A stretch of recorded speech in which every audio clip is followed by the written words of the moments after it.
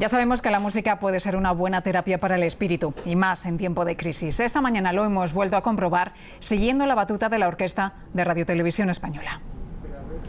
Llegan al teatro para escuchar a la orquesta de RTVE. Son algunos de los 110 niños, la mayoría en riesgo de exclusión, con los que trabaja Acción Social por la Música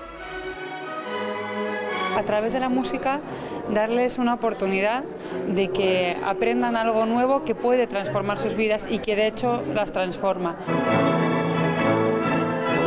Y si nosotros como Radio Televisión Española, la orquesta, podemos aportar algo a eso, es una cosa muy buena.